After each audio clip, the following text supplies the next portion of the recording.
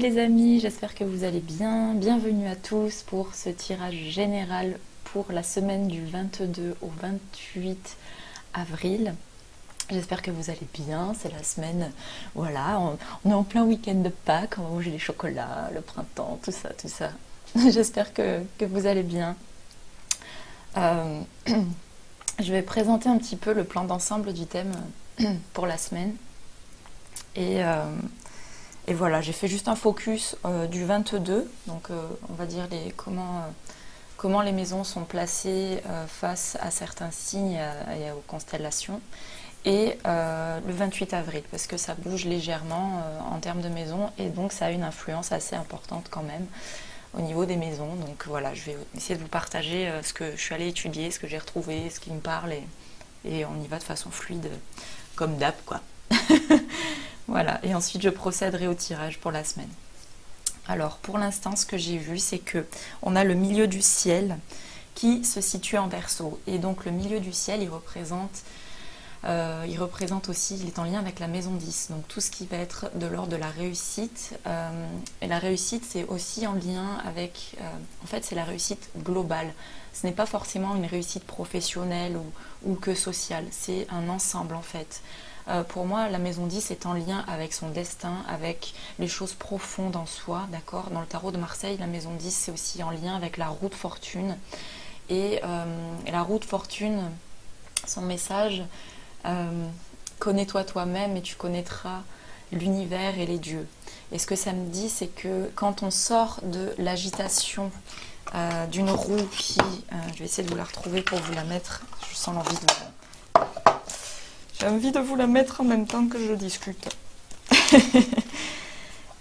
Quand il y a un mouvement perpétuel autour de soi, l'agitation qui est en lien avec les émotions, avec nos peurs, mais également avec notre psychisme, on se laisse embarquer, embringuer par ce mouvement ici, par ce mouvement extérieur qui quelque part nous malmène un petit peu entre euh, nos, pulsions de peur qui peuvent nous assaillir et parfois dominer nos, choix, nos prises de décision, et à la fois nos pensées aussi qui sont en lien, euh, bah, en lien avec ces peurs-là. Donc euh, voilà, est-ce que c'est les pensées qui alimentent la peur, qui déclenchent cette, cette pulsion animale qui contrôle la roue, quoi, qui la fait tourner dans un sens, puis dans l'autre, puis un peu dans tous les sens selon? Ou est-ce que c'est ou est-ce que c'est le c'est cellulaire? Est-ce que c'est les émotions qui agissent, qui agissent pardon, en premier et qui euh, créent cette, euh, cette peur qui peut parfois se manifester? Et donc, euh, et donc et nous éloigner de notre propre axe, de notre propre centre ici. Vous voyez le mouvement de la roue, plus on arrive à l'extérieur de la roue, plus le mouvement va être grand.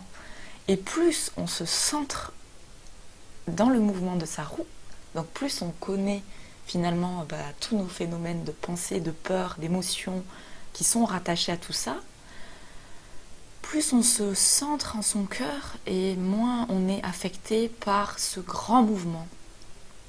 Alors, en même temps, le mouvement a aussi quelque chose de, de positif, dans le sens où il nous fait bouger les choses, où il, voilà, l'énergie du mouvement, c'est aussi la vie. Tout est mouvement dans la vie, que ce soit euh, voilà, une plante, euh, les arbres, nous, euh, le, temps, les cycles, la lune, le soleil, enfin tout est en mouvement constant. Donc en fait, c'est un peu comme si ça me disait que quel que soit le mouvement que l'on vit, que l'on traverse, tant que nous sommes à l'intérieur de nous-mêmes, on accepte de manière beaucoup plus fluide ce mouvement extérieur et intérieur aussi qui peut se manifester. Alors je ne dis pas que c'est forcément facile, je le dis de cette façon, là, de manière fluide, mais vous, vous inquiétez pas, c'est valable pour moi aussi, hein, tout ça. Euh, mais il y a, euh, pour moi, l'idée de... Plus on est dans son axe, dans son centre, et, et plus on est relié et on est dans l'acceptation de ce mouvement. Il y a quelque chose de comme ça. Donc, le fait que le verso, et euh, le milieu du ciel se trouvent excusez-moi, le milieu du ciel et la maison 10 se trouve en verso. Et en verso, euh, ce que ça me dit, c'est que ah, le signe du verso, il est. Alors, il est très. Euh, comment je peux dire? Il a un côté où il va être euh, très généreux. Il va aimer. En fait, il, aime aller se fondre dans l'humanité quelque part. Il a un côté très extraverti, très original. Il sort, il sort un peu des sentiers battus et à la fois il va, il va, euh, sa passion en quelque sorte, c'est de se fondre dans l'humain et d'aller, euh, d'aller décortiquer ou pas décortiquer, mais en tout cas il a un peu cette quête, le signe du Verseau pour moi, d'aller justement euh, découvrir l'âme, l'âme humaine dans toutes ses profondeurs, dans toutes ses, potentialités et dans tous ses signes astrologiques aussi. Voilà, c'est aussi ça. Et voilà, tout ce signe astrologique, ça, me fait aussi penser à la roue du zodiaque au final, hein, que je suis en train d'apprendre et d'étudier. C'est aussi, euh, finalement, connais-toi toi-même et tu connaîtras le monde et les dieux, mais en, se connaissant soi-même, c'est aussi en allant se reconnaître dans l'autre, tout en étant euh, dans son centre. Mais ce que je veux dire par là, c'est d'être finalement euh, dans le plein accueil de ce que chaque être humain où est-ce qu'il en est et tout ce qu'il peut vivre, traverser et, se comporter, il est, simplement euh, dans sa pleine évolution, lui aussi, comme nous-mêmes également. Et il n'y a pas de plus ou moins bien ou quoi que ce soit, c'est juste que finalement, euh, pour moi, dans le verso, ce que ça me dit, c'est qu'il y a, il y a cette. Euh, comment je peux dire cette envie d'apporter cette, euh, cette essence de soi, ce don de soi et cette écoute pour pouvoir, enfin pour pouvoir, c'est pas forcément pour une attente en fait au final, c'est juste pour chercher, chercher ou vivre, pour tous les mots, ou vivre ce qui, ce qui est pleinement là en fait, ce qui est en nous et ce qui est en l'autre et, ce, qui, ce qui résonne en fait. Et donc, pour le verso, il y a l'idée que, parce qu'il a un côté très altruiste, il a un côté très original. il est en lien avec Saturne, avec Uranus. Uranus, c'est la planète des révolutions, donc il sort complètement des, codes, des, carcans déjà existants. Euh, ça peut être même troublant, voire perturbant pour certains qui sont quand même très rigides ou très méthodiques, méticuleux sur certaines choses. Donc il y a, cette énergie de révolution en quelque sorte, révolution de pensée, révolution d'être, révolution de voir le monde tel qu'il est euh, et, d'y apporter quelque part toute, sa, son originalité en fait, toute sa part euh, divine en fait et sa part créative aussi, donc très, aussi très euh, rationnelle aussi évidemment, tout en étant présent à ce qui se passe forcément chercher à, à tout, euh, je peux dire, à, changer. C'est tout le paradoxe, c'est que, je sais pas comment dire, il y a un côté anarchie, excentricité dans le verso, d'accord? Et il y a un côté altruiste. Donc en fait, il y a le, pour moi l'idée de partager ses valeurs, de partager ce qui est dans notre cœur, et chaque individu a ses propres valeurs, a ses propres, son propre témoignage à apporter. Donc en fait, c'est pour ça que c'est toute la complexité, je pense aussi, dans la nature humaine, que chacun veut apporter son grain de sel et en plus veut le défendre, hein, corps et âme, parce que, parce que chacun a son, son mot à dire. Et, voilà. et quelque part, euh, que représente cette roue alors dans tout ça? Est-ce qu'on reproduit un schéma répétitif de domination, de dominer, de j'ai raison, t'as tort, machin? Ou est-ce que on est en mesure d'écouter, d'être suffisamment relié en fait dans son cœur? Et, et quand on est relié dans son cœur, on n'a plus forcément ce besoin de convaincre, ce besoin de prouver ou ce besoin de faire? En fait, on est juste à, à être présent à ce qui se passe donc dans son centre et simplement accueillir le mouvement qu'il y a à l'extérieur aussi. Je pense que c'est toute cette complexité de... Ouais, c'est ce qui me vient pour le début de la semaine. Donc le côté altruiste, ouais, qui, exprime sa, qui exprime sa conscience, sa connaissance, qui exprime ses valeurs, qui exprime, qui exprime avec, avec fougue et avec élan d'amour tout ce qu'il a envie de partager. Il y a aussi ça. Euh, qu'est-ce que l'on peut dire pour la maison neuve? On avait, on avait, nananani, milieu du ciel et le verso.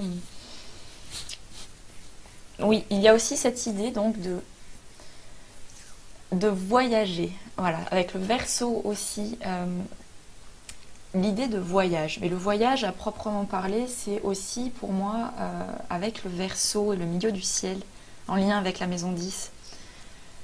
C'est qu'il y a justement cette, ce côté, euh, comment je peux dire, ce côté exaltant d'aller se plonger dans la nature humaine, dans l'âme humaine, autant que, euh, que s'exalter dans le voyage, le voyage qui, qui est dans les, comment je peux dire, de contrées lointaines. Voilà.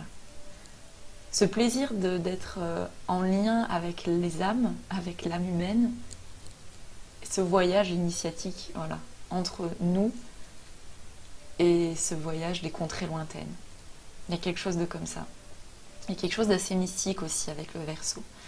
Le signe du verso, euh, son influence aussi, c'est. Il y a plusieurs choses évidemment, parce qu'il a le côté excentrique, mais il a le côté excessif aussi, qui peut être. Euh, voilà, à tout prix, euh, à tout prix, à tout prix différent. Ça peut être aussi un défaut. Mais une de ses qualités, c'est aussi son altruisme. Et il a, il a aussi un fort émotionnel. Il a, c'est aussi des mystiques en fait. Ils, ont un, un, ressenti qui est très fin, qui est très, euh, très doué en fait, très, je sais pas comment dire, un art de connaître ou de sentir les choses. Et à la fois, ça peut être aussi pour eux euh, une. Euh, comment je peux dire Envahi d'une émotion aussi reliée à ce phénomène-là, qui n'est pas forcément facile à gérer. Donc pour le début de la semaine, voilà, on sait que le milieu du ciel, qui est en lien donc avec nos désirs d'élévation, se situe en maison 10, qui est en lien avec la carrière globale, d'accord, le, destin, les choses que l'on entreprend vraiment pour notre bien, notre roue, je pense à la roue du destin, d'accord, que j'ai énuméré. À l'opposé du verso, donc de la roue du zodiaque, on a le bélier. Le bélier, c'est donc son opposé, lui qui est beaucoup plus dans l'individualité. Euh, qui s'affranchit aussi de tous les codes de conditionnement extérieur. Donc en fait, ça va être un peu l'opposé et la complémentarité. C'est-à-dire que le verso va être beaucoup plus en lien, on va dire, avec l'extérieur et tout, euh, il, n'a pas envie, lui, de s'isoler. Et paradoxalement, à travers son, originalité, il peut aussi vivre une, certaine isolation. Et dans l'opposé, donc le bélier, lui, va être beaucoup plus dans l'individualité. C'est le 1, hein, c'est aussi le leader, c'est celui qui, commande, qui dirige sa vie, qui avance sur sa route avec ses, propres valeurs, ses principes. Il avance, il fonce tête baissée. Voilà, il est très, très euh, pragmatique aussi, très réfléchi. Euh, voilà, il y a aussi ce côté-là. Et en verso, ça va être voilà, le côté plus mystique. Donc, je pense que voilà, pour le début de la semaine, il y a ces énergies. Voilà, le bélier, lui, est en maison 11. Euh, la maison 11, c'est le lien justement avec l'entourage, avec les amis et les projets.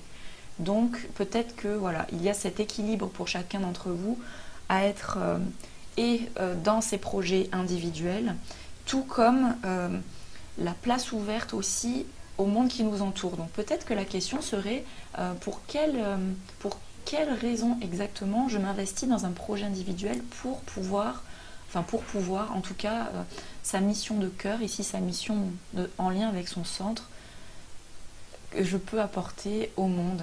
Voilà, il y a un lien, quelque chose de comme ça. On a aussi Vénus et Mercure en maison 11, donc vraiment ce lien avec l'accomplissement, voilà ce que je viens d'énumérer en fait. Ce, pourquoi je, m'investis dans cette œuvre-là euh, et, c'est en lien avec l'amour et le côté un peu mystique aussi du pont entre le ciel et la terre avec Mercure. Donc il y a... Euh, c'est ça, pour moi ça me dit cette question de À quelle mesure j'accomplis les choses avec mon cœur pour pouvoir m'aider moi-même, accomplir ma propre évolution tout en étant en lien et en reliance avec le monde qui m'entoure. Ah, ce que ça me dit, les amis. On a en maison 12, en maison 12, ça va être les épreuves, les choses à quoi, euh, les choses un peu cachées. Et on a le soleil qui est en taureau. Donc finalement, ce que ça me dit, c'est comme si euh, bah, vous avez les capacités d'accomplir les choses dans la, matérialisation des choses. D'accord? Le taureau, c'est vraiment le signe de, terre, en fait, hein, donc, euh, qui, concrétise les choses, qui matérialise les choses. Et on a l'énergie du soleil aussi. Donc ça, ça vient de dire qu'il y a... il y a vraiment cette énergie d'action, cette énergie de feu dans la matérialisation des choses que vous entreprenez. Euh, donc peut-être que c'est pas quelque chose qui se voit dans l'immédiat, c'est peut-être pas quelque chose qui. C'est peut-être quelque chose qui, quelque part mature et se construit petit à petit dans l'action de ce que vous entreprenez pour vous chaque jour. D'accord? Il n'est pas forcément question de faire étal de, ce que vous entreprenez, mais c'est quelque chose qui est un travail en fait. Il y a quelque chose de comme ça. Voilà, l'énergie du soleil qui vous accompagne avec cette, euh, cette force et cet élan d'un taureau. Quoi. Le taureau, il, y a un côté voilà très stable, il peut statique aussi, ça peut être aussi ça. Et à travers la staticité, on, peut ancrer aussi les choses. Si on regarde le signe du taureau, euh, il est connecté avec ses, cornes, quoi. Il est connecté et il peut être aussi très statique. Donc c'est comme s'il recevait l'info. On a Mercure qui est en lien avec le bélier, donc euh, bélier qui est très psychique aussi, d'accord, pour le début de la semaine. Voilà, il y a comme euh, finalement une prise de conscience des infos qui arrivent et qui, bah, qui s'ancrent en fait, et qui se stabilisent, qui prennent corps, voilà, qui prennent corps et qui prennent chair. Voilà. Euh, qu'est-ce que nous avons d'autre? Nous avons Neptune en maison 10. Neptune qui est en lien avec tout le côté mystique aussi, tout le côté très, euh, voire même médiumnique, le côté irréaliste, il y a le côté impressionnaliste aussi, euh, il y a le côté illusion aussi, il y a un peu la folie des grandeurs et en même temps, euh, en même temps cette, comment je peux dire, cette, il y a une fantaisie mystique et en même temps il y a une réalité dans le mystique. Donc ça, ça va parler à chacun de vous en fait, et en fonction de où est-ce que se situe dans votre thème personnel, voilà, toutes ces planètes de naissance aussi. Donc il y a une, réceptivité qui est accrue. Voilà ce que ça nous dit pour la maison 10. Donc une réceptivité qui est accrue vis-à-vis du monde qui nous entoure. En fait, c'est ce que j'ai énuméré déjà au départ, en fait. Donc j'ai l'impression de me répéter parfois, mais peut-être que c'est nécessaire, je ne sais pas trop. Euh, et on a Mars qui est en Gémeaux, qui lui se situe en maison 12. Et là, c'est encore en lien avec, avec les épreuves.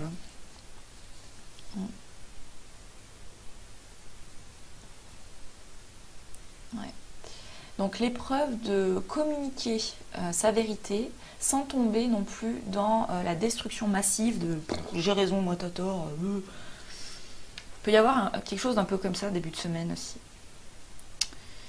Et donc pour le 28, le milieu du ciel se retrouve en poisson, qui lui se trouve en M10.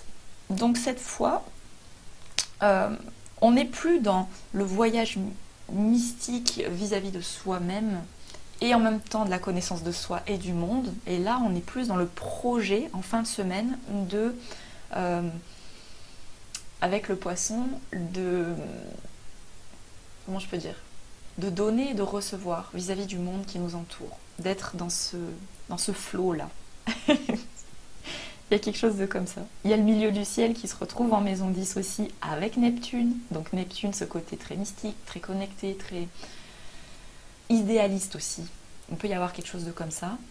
C'est les chercheurs, les savants un petit peu. Il y a le côté, euh, il y a le côté artiste, créatif.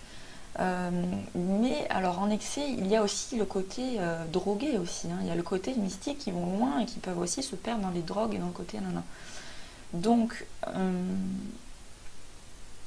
voilà, il peut y avoir voilà, cet équilibre là, en plus le poisson quand même, hein, donc, entre le marchand d'illusions, le médium, etc. Et en même temps, en même temps ce côté un peu flou, un peu flou, perdu dans l'illusion aussi. D'accord? Il y a quelque chose d'un peu comme ça. Pour la fin de la semaine. Mais à mon avis, il y a des, messages, qui, des, messages de réception qui vont arriver pour, pour beaucoup d'entre vous. D'entre nous. Je pense que c'est pour ça qu'on est tous euh, à l'affût, parce qu'on a plein d'idées, pas à l'affût, mais on a, on a un condensé de plein d'informations et de, ne pas toujours savoir comment les, les, les, mettre en œuvre, en fait, les mettre en place dans sa vie. C'est là que le taureau est intéressant. Là, pour la fin de la semaine, donc le 28, euh, j'ai fait le focus pour le 22 et pour le 28, d'accord?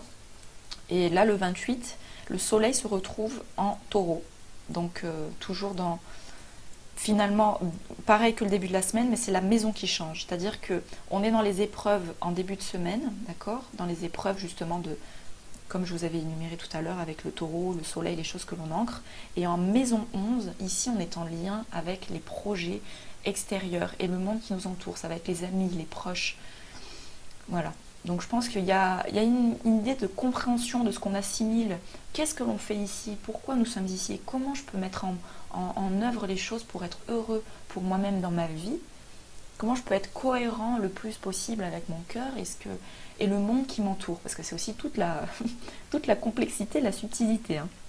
Et on a Jupiter qui est en M6 pour le 28 avril. Donc là, Jupiter, c'est aussi l'idée d'expansion, l'idée de d'un travail aussi, enfin un travail, c'est un mot un peu... L'idée d'une expansion dans ce que vous entreprenez pour vous, et en, maison 6, pardon, c'est le travail, la santé.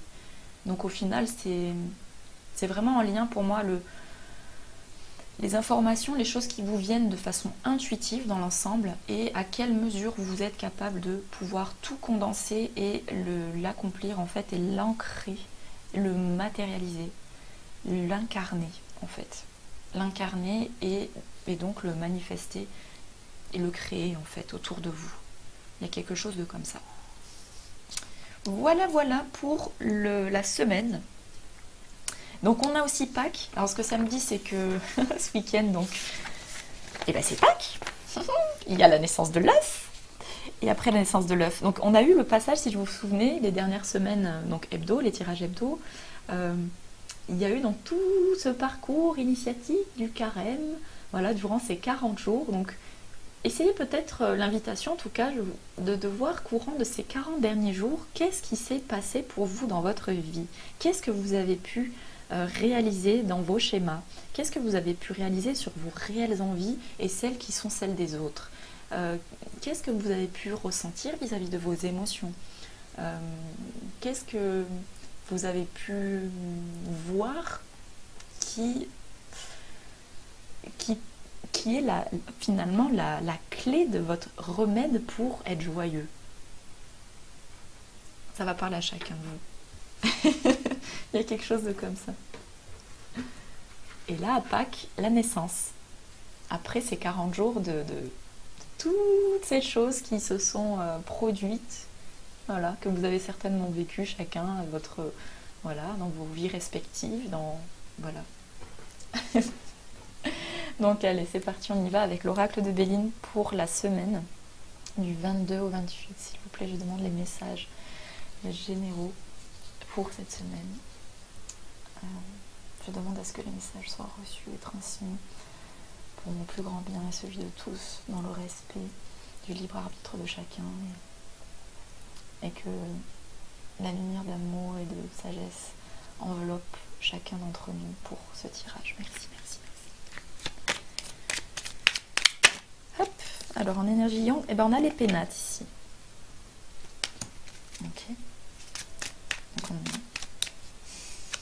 L'idée de se retrouver soi, ça me fait en lien avec celle-ci, c'est drôle. Hein. Parce que quand on est en lien ici, dans son corps, dans son cœur, finalement, on, les voit arriver à l'extérieur, après les mouvements qui viennent, euh, qui peuvent venir ébranler euh, cette stabilité intérieure. Et là, avec les pénates, ce que ça me dit, c'est qu'il y a une stabilité. C'est en, énergie yang, hein, donc en énergie masculine, il y a une stabilité, il y a quelque chose, il y a un fort intérieur. Quelque chose de comme ça. On a le 16. 16, hein. c'est en lien avec la maison Dieu dans le tarot. Et là, la maison Dieu, ça peut être vécu de manière très destructrice. Là, pour moi, c'est quelque chose de beaucoup plus apaisé que je sens. Ah bah, vous voyez, il y a le cloître qui est sorti. Donc en fait, c'est comme si, ce que ça me disait, c'est qu'on sort d'un enfermement pour parce que justement, on est en, lien, en fait, on est, on est beaucoup plus sécure à l'intérieur de soi. On sait ce qu'il y a de juste et de bon pour nous. Et on est en mesure de voir au loin, c'est comme si euh, on voyait avec le. c'est comme si je voyais un personnage en haut là de la fenêtre avec des lunettes, quoi, qui, regarde. je sais pas, c'est trop bizarre. Qui, qui, voit des gens euh, arriver au loin et il capte en fait si. Euh, si les, gens sont bien intentionnés ou pas, quoi. Et il y a cette sécurité. Donc, le fait d'avoir cette lucidité, cette capacité d'être suffisamment sécure à l'intérieur de soi, elle me fait rire cette carte, je sais pas pourquoi. C'est comme si vous avez finalement cette capacité intuitive de, voir les choses et non plus d'être dans un enfermement. Ce que ça me dit aussi, c'est que le fait, donc c'est dans, il y a deux choses. Il y a la capacité à ouvrir à ouvrir la barricade, la barrière quand c'est nécessaire, quand vous voyez à qui, qui arrive devant et que voilà, c'est vous les mettre quelque part de. Voilà, vous ouvrez le. Ça fait très moyenâgeux, j'adore. Et il y a aussi cette capacité, en énergie positive, de voir aussi les, les personnes que vous souhaitez ou non laisser pénétrer dans votre fort intérieur. Et ici, il y a une barricade. Donc en fait, c'est pas forcément négatif le cloître. Pour moi, il y a aussi une forme de protection saine vis-à-vis de. Voilà, voyez ce qui vous parle pour chacun. Soit la mort ici, parce qu'on a Saturne, donc la mort de euh, justement un enfermement qui a pu être là pendant longtemps lié à une peur. Et maintenant, avec les pénates, il y a une sécurité intérieure qui se construit, donc euh, on n'est plus dans l'enfermement, mais on arrive à réouvrir les barrières. On, renverse les barricades en quelque sorte, d'accord Pour accueillir à nouveau la vie en nous. Et il y a aussi cette part saine, voilà, à l'opposé, de euh, bah, finalement dans son fort intérieur, là, bah, de décider quand c'est nécessaire pour soi de fermer, euh, fermer les liens ou fermer les portes euh, face à certains comportements ou à certaines, à certaines mesures qui vous semblent plus justes en fait pour vous ce que ça me dit pour l'énergie euh, Yang. On va demander pour l'énergie Yin, s'il vous plaît. Oh. Alors, on a le changement. Ici, pour l'énergie Yin. Donc, c'est en lien pour moi. Et on a Mercure aussi. Donc, vous voyez, c'est en lien avec toutes les, infos, les connaissances, les choses qui, qui vont intervenir, ou en tout cas qui interviennent pour chacun d'entre nous, là dans où est-ce que nous en sommes et où est-ce que nous allons. Et ce changement, c'est en lien. On va voir s'il y a un autre message pour ce changement, s'il vous plaît. Non. Alors l'énergie qui intervient. Hop. Alors l'énergie qui intervient, c'est la campagne et la santé. Vous voyez, c'est en lien avec les pénates pour moi. En lien avec euh, le fait de se retrouver soi-même, d'avoir une sécurité, euh, comment je peux dire, un environnement qui vous, où vous vous sentez bien en fait. Parce que c'est là que, que vous vous sentirez le plus épanoui et le plus à même de pouvoir être créatif. Quand on est dans un environnement qui nous stresse, euh, c'est franchement c'est pas cool quoi. On n'est pas, en mesure de pouvoir prendre du plaisir ni à être inspiré de quoi que ce soit parce qu'on est toujours tiraillé par plein de, plein de choses à faire. Finalement, là, dans l'énergie qui intervient, c'est l'invitation à vous écouter, à vous prendre soin de votre corps, de votre santé, d'être dans un environnement au calme ou à la mer, ou en tout cas ce qui vous fait du bien, ça va être propre pour chacun de vous. Et l'idée de la santé, ça me fait un lien avec l'alimentation. Excusez-moi. L'idée de, prendre soin aussi de sa santé, c'est aussi donc et d'être dans un environnement où vous vous sentez bien, mais aussi de prendre soin de votre corps. Votre corps, c'est aussi votre fort intérieur, c'est aussi votre temple, c'est aussi savoir prendre soin de vous.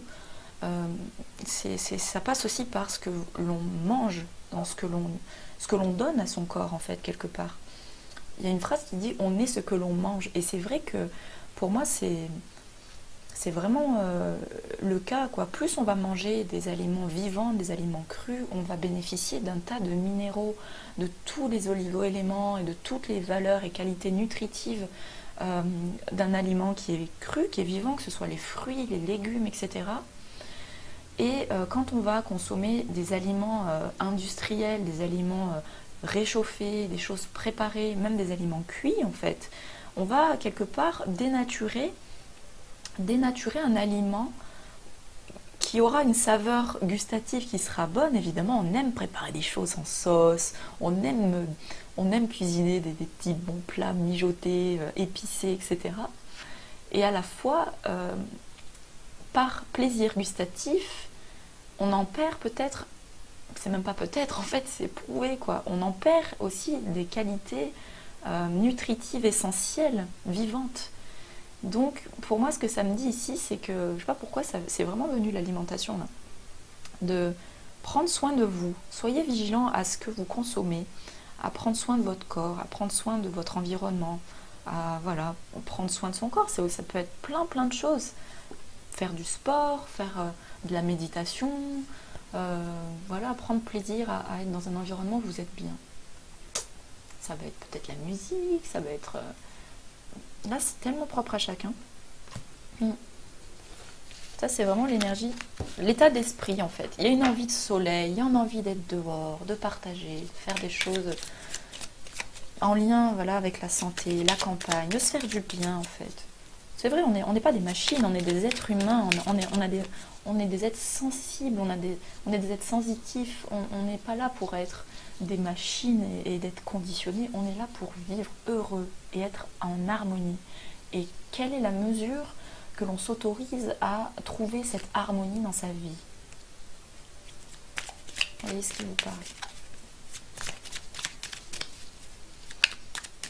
Le résultat, s'il vous plaît. Alors, on a un départ ici. Un départ, un lâcher-prise.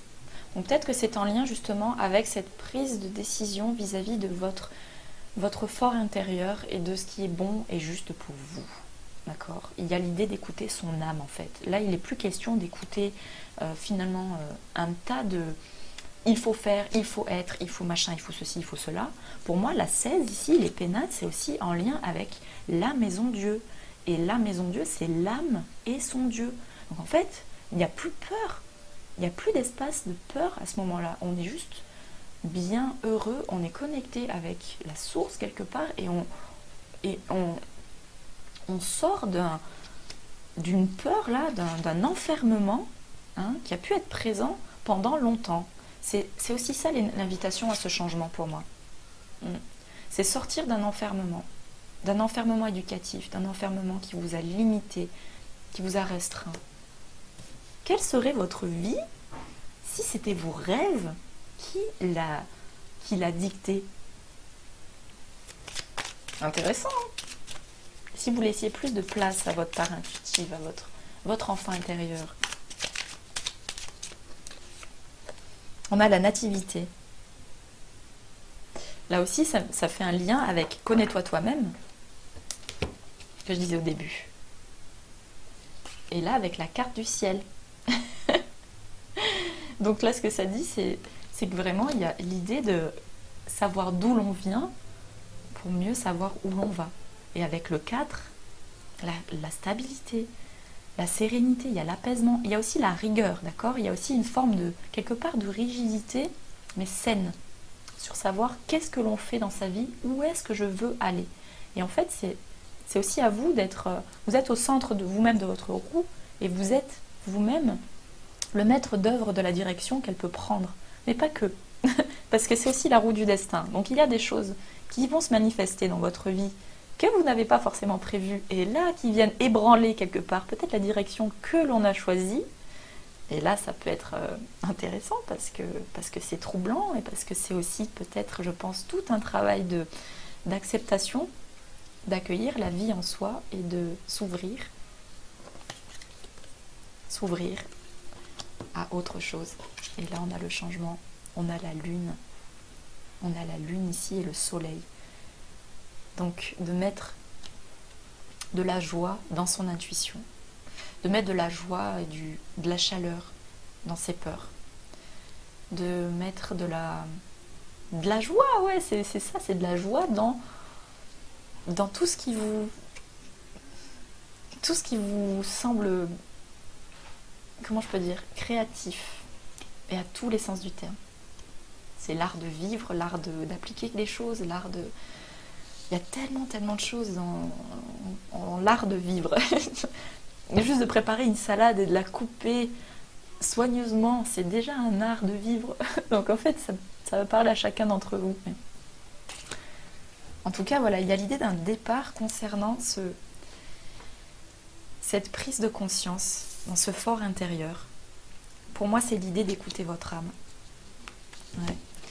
Je vais vous la montrer, la maison Dieu, je vais vous la remettre parce que l'idée de de faire plus de place à son âme. Et parfois, c'est quoi son âme? Ben moi je dirais c'est ce qui nous met en joie. Et des fois on dit mais non mais le mental il dit n'importe quoi, c'est pas ça la vie, la réalité c'est tout autre, hein. on peut pas être tout le comme ça, c'est n'importe quoi. Mais pourquoi on croit ça? Qui nous a dit de croire comme ça? Qu'est-ce qui a fait que l'on croit comme ça? Pourquoi on n'aurait pas le droit de rêver et de vivre une vie que l'on rêve? Ici, on voit des enfants qui sortent de la tour quand même. Hein. Et euh, c'est la fiesta, quoi. On voit qu'il y a le capuchon de la tête qui s'enlève, qui se retire, d'accord? Il y a une foudre qui intervient du ciel, qui euh, quelque part renverse le chapeau, là. Et on a ces deux enfants qui, bah, qui jouent, qui se lâchent, qui vivent la maison Dieu. Voyez ce qui vous parle, les amis. Mais sortir d'un cloître, c'est une belle énergie pour vous, hein. énergie yang pour cette semaine. Super. Oh, écoutez, euh, on va demander à, l'oracle des anges gardiens, ça fait déjà 35 minutes. Quel est le message pour la semaine, s'il vous plaît, du 22 au 28 pour ce tirage général. Oups Alors on en a deux, on a la confiance et l'éternité. Tu regardes uniquement la situation d'un point de vue matériel, donc tu ne peux pas avoir une vue d'ensemble, ni voir les bénédictions liées à cet événement.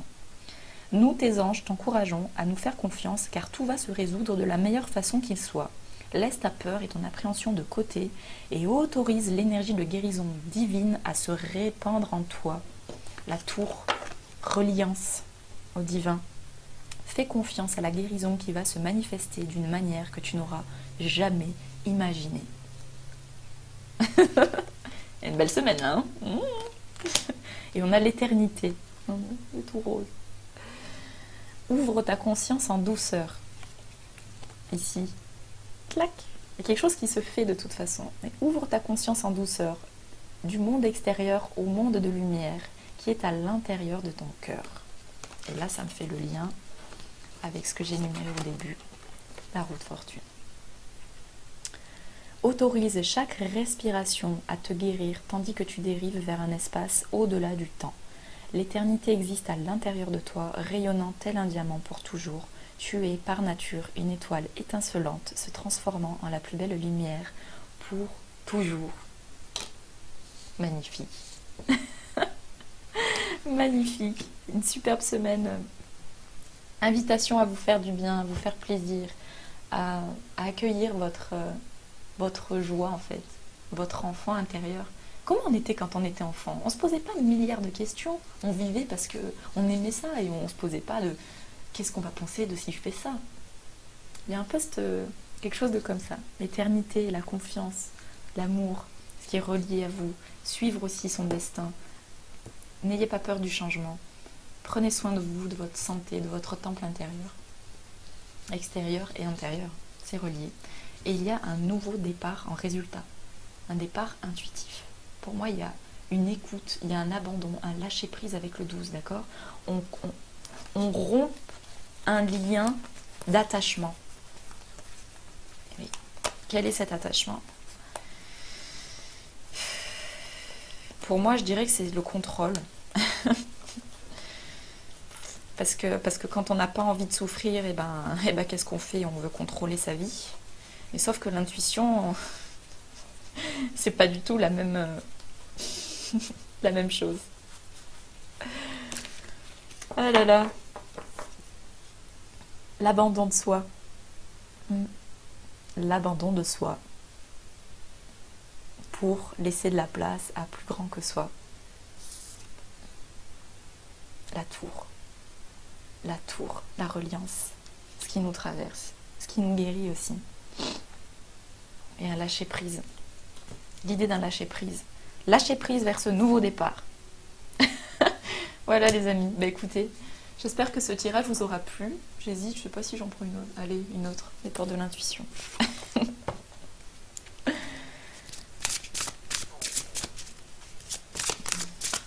Message supplémentaire s'il vous plaît pour ce tirage. Et sous le paquet, sous le paquet, on avait la trahison sous l'oracle de Bélina.